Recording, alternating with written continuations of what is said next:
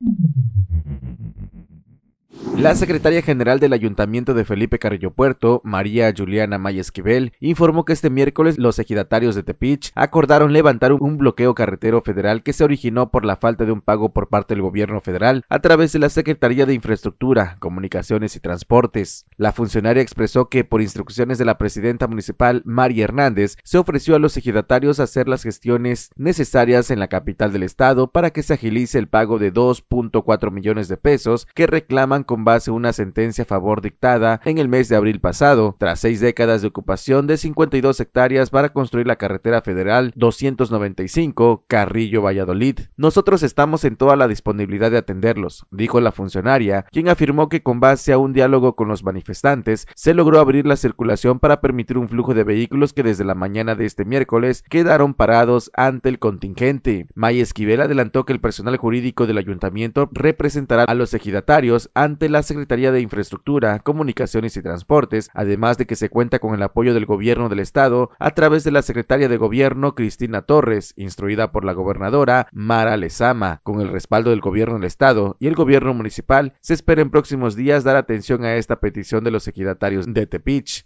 Para Notivisión, Leonardo Hernández.